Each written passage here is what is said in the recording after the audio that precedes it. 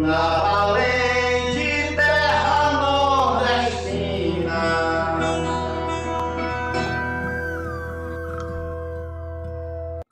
As matérias do jovem repórter Espírito Santo, reproduzidas nos jornais de todo o país, conseguem eletrizar a opinião pública do Sudeste, contrasteando no choque surrado de antíteses ao mestiço neuraustênico do litoral. Euclides da Cunha contra Nina Rodrigues.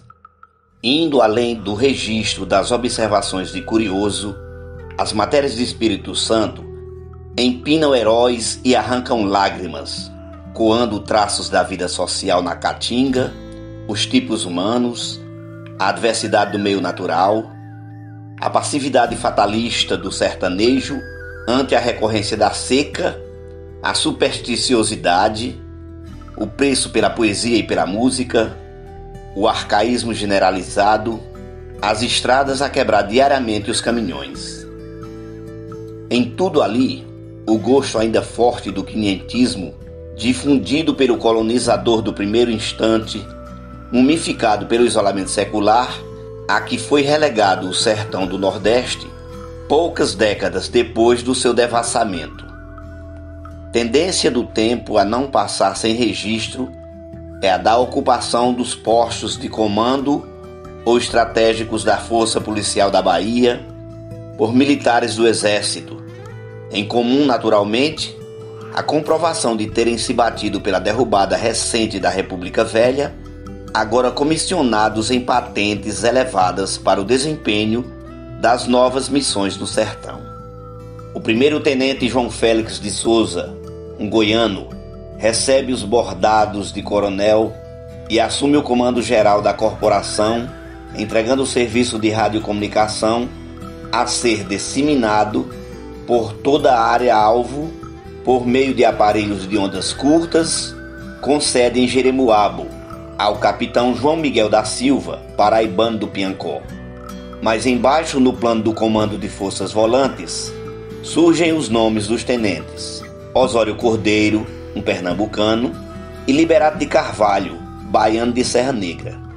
Nenhum destes escapa ao olhar de Espírito Santo, formando-se entre todas as camaradagens que brota do sacrifício comum em meio hostil as forças se espalham em comando localizados, com a missão de apoiar os colegas em serviço volante, tenentes a chefiá-las. Alvim Rodrigues de Melo fica em Santa Brígida, José Fernandes em Serra Negra, José Américo de Freitas em Várzea da Ema, Salomão Rei em Queimadas, Francisco Guedes de Assis em Patamuté, Felipe Borges de Castro em Jaguarari. Data dos escritos dessa ocasião o exame mais pungente das vicissitudes das forças policiais empregadas na caça ao bandido, as mal afamadas forças volantes. Coberta agora por um olhar compassivo, no tocante à abnegação que delas se exigia no voltear sem fim pela caatinga, e não somente o soldado encontra reconhecimento a figura do estafeta da repartição dos Correios em ação na zona conflagrada e sob ameaça iminente de morte nas mãos de cabras que não lhe toleravam, o leva e traz das mensagens costuradas dentro de punhos e golas do traje merecia os elogios reproduzidos no Diário de Pernambuco de 5 de janeiro de 1932. Um herói a mais na galeria sertaneja pintada por Espírito Santo a quem o cangaço deve muito da posição saliente que assume na formação da mentalidade do imaginário brasileiro da primeira metade da década de 1930. A despertar, anos à frente, o talento de um Portinari, de um Santa Rosa, de um Caibé, para não falar dos muitos títulos do chamado Romance Regional do Nordeste, na proa um Graciliano Ramos, um José Lins do Rego um Jorge Amado. Esse mesmo 1931, sacudido logo em maio, com a fotografia de Lampião ocupando toda a capa da mais importante revista nacional do momento, A Noite Ilustrada, não fecharia sem mais duas ocorrências de realce. Em junho, a Perfumaria Lopes, do Rio de Janeiro, fabricante de sabonetes de sucesso, e deixava a cabeça do bandoleiro a prêmio. Em agosto, também no Rio, ecoando o prêmio Tentador, Castro Barbosa grava na RCA Victor o samba Vou Pegar Lampião, de J. Tomás. E os dois nomes de maior evidência na cena musical brasileira pincelam de irreverência o quadro de alarme que só fazia ampliar-se. Adeus, Amélia, vou decidir minha sorte. Eu vou pro norte e vou pegar o lampião. Adeus, Amélia, vou decidir minha sorte. Eu vou pro norte, vou pegar o lampião. 50 contos não fazem mal a ninguém. Vamos ver se esse malandro desta vez vem ou não vem. 50 contos não fazem mal a ninguém. Vamos ver se este malandro desta vez vem ou não vem. Não quero nada, nem revólver, nem canhão. Vou pegá-lo a cabeçada, pontapé e bofetão. Não quero nada, nem revólver, nem canhão. Vou pegá-lo a cabeçada, pontapé e bofetão. Não sou criança, ele vai virar estopa.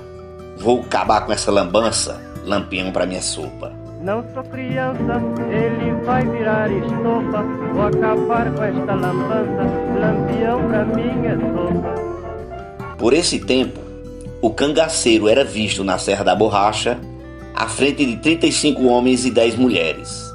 Como revela o chefe de polícia Espírito Santo, adijando em volta do velhacouto do raso da Catarina, onde se refazia nos braços de Maria de Ideia, desfrutando de conforto relativo.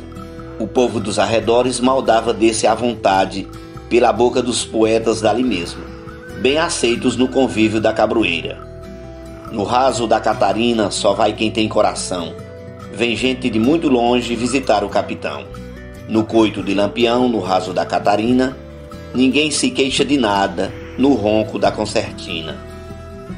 Quando o rancho começava a semelhar o nascedouro do arraial do Belo Monte de Canudos, de Antônio Conselheiro, nos mais de cem abrigos de palha erguidos pelos cangaceiros, o raso da Catarina é finalmente devassado por uma força volante.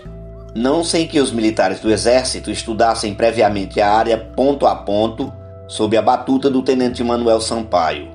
Estudo de Estado-Maior que se vê destronado pelo empirismo dos pernambucanos de Floresta e de Vila Bela, a povoação de Nazaré comparecendo com grande parte do efetivo. Entre os homens nascidos e criados no mesmo pasto de Virgulino, a sentença corria de boca em boca. Se ele entrou, nós entramos também. Esquecidos de que o cangaceiro tivera a humildade de cercar-se previamente dos nativos da terra, ouvindo-os sobre aguadas ocultas, travessias de risco e animais bravios. Pelas 10 horas do dia 7 de dezembro de 1931, que não se perca a data histórica, exausta, faminta e sedenta, a volante do tenente Osório Cordeiro, 34 homens divididos em três pelotões, está às vistas do abarracamento da cabroeira. Há mulheres, risos agudos, cantoria, quando já Sargento Euclides Flor e João Cavalcante completavam o cerco. Disparo acidental dado por um recruta alerta os cangaceiros, que correm em toda direção. Não deixa de haver combate rápido nem as descomposturas de estilo. A presa é vasta, mas de valor ínfimo, salvo pelas ancoretas de água, três cavalos, munição, farinha, roupas, alpercatas, chapéu de couro, perfumes, adereços, água, reporta Espírito Santo. E mais, vestidos de seda, lenços, chales, meias de seda, pó de arroz, pentes, tesouras, sutaches, linhas, agulhas, muitas mulheres.